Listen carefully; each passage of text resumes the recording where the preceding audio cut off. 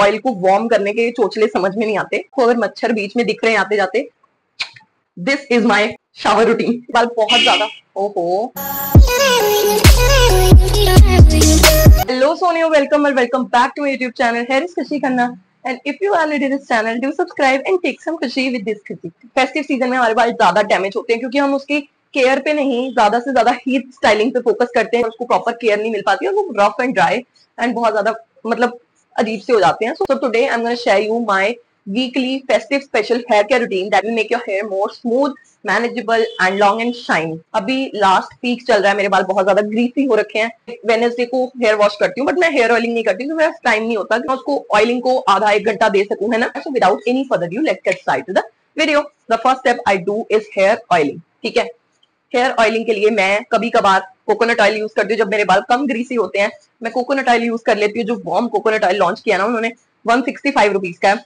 O my god love love love मेरे को parachute ने, मेरे को पीआर में दो बॉटल्स भेजी थी। एक बड़ी वाली अभी बैकअप में पड़ी है। ये छोटी वाली ऑलमोस्ट थोड़ी सी रहेगी, खत्म होने वाली है। हम हेयर केयर की बात करें हम स्पेशल हेयर केयर की बात करें तो मैं जस्ट कोकोनट ऑयल यूज़ नहीं करूँगी। वैसे इसमें बहुत सारे और इंग्रेडिएंट्स की गुडनेस ऑलरेडी है but still I will mix this rosemary essential oil की एक दो बूंदे, ठीक है?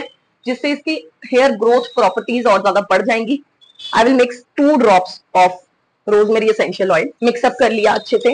Then I will apply in circular motion I will directly apply in circular motion ठीक है? उसके बाद में मैं आपको लेंस पे भी बताऊँगी कि आप क्या कर सकते हो उसने बालों को स्मूथ एंड शाइनी बनाने के लिए। बाय द वे जो जो प्रोडक्ट्स मैं यूज़ करूँगी ना, वो सारों, वो सभी के लिंक्स मैं आपको डिस्क्रिप्शन में ऐड कर दूँगी तो don't forget to check out the description ये rosemary essential oil St Botanica brand का है। आई विल टेक मोर दो बार इतना इतना लेती हूँ। ठीक है? जिन लोगों के पास दो एक्स्ट्रा हैंड नहीं है ना चंपी करने के लिए, क्योंकि काफ़ी लोग अपनी मम्मी, दादी, नानी, इन लोगों से चंपी करवाते हैं। मेरी मम्मी नहीं करते चंपी। अगर उन्होंने करनी भी है ना, वो फटाफट ऐसे ऐसे करके सारे अड़े डाल के ना कहेंगे, हो गया हो गया, अब धोले सिर आई विल टेक दिस दस मिनट अच्छे से मसाज करूँगी अपने सिर पे। सबसे ज़्यादा यूजफुल हेयर केयर फाइन मेरा आज तक का यही है। और अमेजोन पे भी आपको इससे चीप में मिल जाएँगे बट वो ना स्टडी नहीं होते, उनका हैंडल टूट जाता है थोड़े टाइम बाद। I will recommend you all to invest in this one तीन सौ रुपए का है, और काफ़ी लंबा चल जाता है। मेनली जो फोकस करना है, वो आपको यहाँ हेयर लाइन पे करना है। यहाँ का ब्लड सर्कुलेशन आपको तेज करना है, क्योंकि मेनली आपको हेयर लॉस का पता ना, यहीं से चलता है, और हेयर रीग्रोथ का भी यहीं से चलता है। So I will recommend you कि आप लोग यहाँ पे ज़्यादा फोकस करके मसाज करें देन आप बैक की तरफ़ जाए फ्रंट से बैक करना है आपको। मैंने हेयर केयर के ऊपर बहुत सारी वीडियोस बना रखी हैं मैं प्ले लिस्ट आई बटन पे ऐड कर दूँगी you can check out them as well क्योंकि वो बहुत हेल्पफुल है। आई नो बहुत लोगों को उससे हेल्प मिली है बहुत लोगों ने स्टार्ट करा है। सो so, ये स्पेशल हेयर केयर रूटीन है जिससे आपके जो हीट डैमेज से बाल झड़ते हैं ना उसके बाद रीग्रोथ भी साथ के साथ होती रहती है आपको हेयर लॉस का हेयर लॉस फेस करना नहीं पड़ेगा। You have to give extra nourishment to length ठीक है? मैं पिलग्रिम का 100% percent pure and natural squalane oil use कर रही हूँ। स्क्वालिन एक बहुत ज़्यादा नरिशिंग इंग्रेडिएंट है। अब पिलग्रिम ने डिसकंटिन्यू कर दिया है। I will mention another brand squalane oil ठीक है? मैंने एक ड्रॉपर अपनी पाम पे लिया। I will massage to my length जो मेरे अड़े पड़े हुए थे अभी अभी वो सारे इसने एक सेकेंड में डिटेंगल कर दिए। Look at this this is quite normal सिर्फ़ रोजमेरी एसेंशियल ऑयल से काम नहीं चलेगा so I do use extra hair growth serum and all but not at all जो आजकल वैसे बहुत ज़्यादा वायरल चल रहे हैं। हेयर वॉश के टाइम ना, ये मैं फार्मेसी ब्रांड है, उसका पॉलीगेन हेयर लोशन है, जो कि एल आर्गिनाइन एंड एनागेन के साथ आता है। फाइव सेवेंटी रुपीज़ का है। ये एक लोशन टाइप का है, जो आपको सिर्फ़ हेयर लाइन पे यूज़ करना है। I will take this much quantity on my palm you can see the texture it's very white and liquid ही है ना? तो इसको मैं यूज़ करूँगी हेयर लाइन पे जहाँ पे मोस्टली प्रॉब्लम आती है, ठीक है?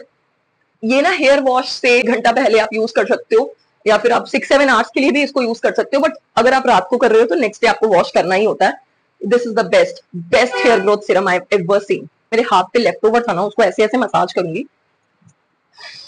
बाय द वे आपको पीछे का डेकोर कैसा लग रहा है? मेरे को तो बहुत अच्छा लग रहा है। मैंने इसमें तीन, चार शॉर्ट्स बना ली हैं अभी तक। अगर आप मेरी शॉर्ट्स नहीं देखते हो जल्दी जाके देखो, क्योंकि शॉर्ट्स में मैं काफ़ी ज़्यादा एक्टिव हूँ। मेरे को काफ़ी ज़्यादा पसंद है। फ़र्स्ट टाइम मैंने ऐसे कुछ फेस्टिव वाला डेकोर टाइप किया है। I want to put efforts like मेरे को पूरी अपनी जान लगानी है इस चीज़ में। सो so, आज मेरा यूट्यूब का जो सेटअप है वो भी काफ़ी डिफरेंट है। I am just pre masking my hair pre and post hair mask में क्या होता है? पोस्ट जो होता है हम शैम्पू के बाद अपनी लेंस पे लगा के उसको 20 मिनट 25 मिनट रखते हैं देन वॉश करते हैं अपने बालों को।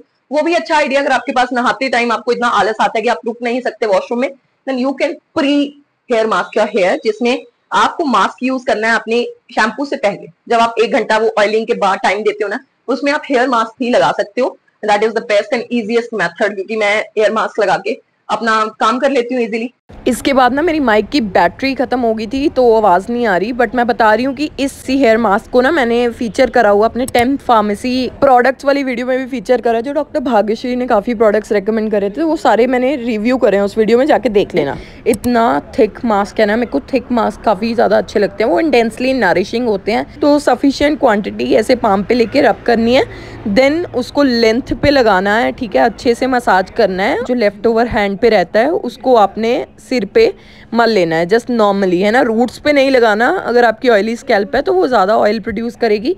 मैं प्लम के कोकोनट वाले शैम्पू से हेयर वॉश करूँगी अब। प्लम का कंडीशनर यूज़ कर रही हूँ मैं हिबिस्कस वाला।